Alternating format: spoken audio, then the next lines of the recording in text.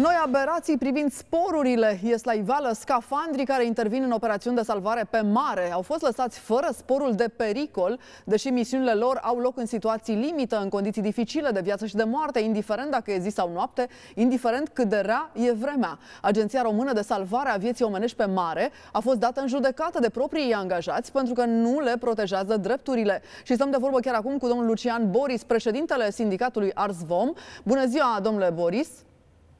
Să rămâne, doamna... Păi dacă nici dumneavoastră nu lucrați în condiții de pericol, atunci cine ia spor de pericol? Păi, din punct de vedere, Curtea de Conturi și Cultura beneficiază de spor de condiții, că lucrează la birou.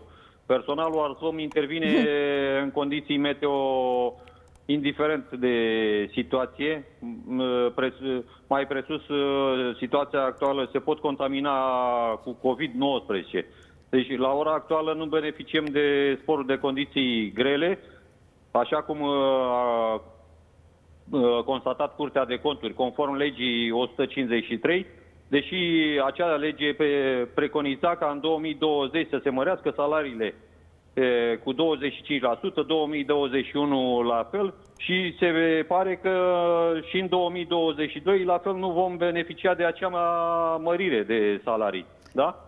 Semnalul nostru este pentru domnul ministru al transporturilor că această agenție funcționează în momentul de față cu un deficit de personal, deși investiții s-au făcut s-au investit în uh, parcul de nave, s-au adus nave noi, dar personalul a rămas uh, la nivelul anilor uh, precedenți.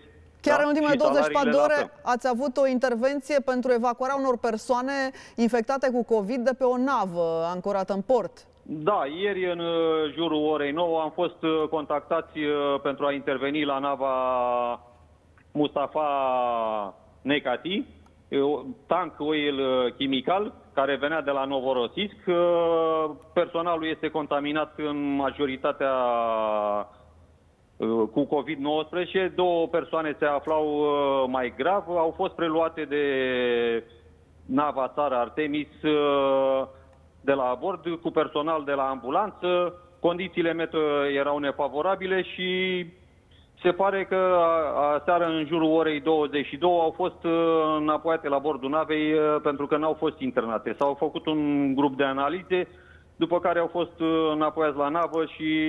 Mulțumesc se... pentru intervenție, să sperăm că apelul dumneavoastră a fost auzit de ministrul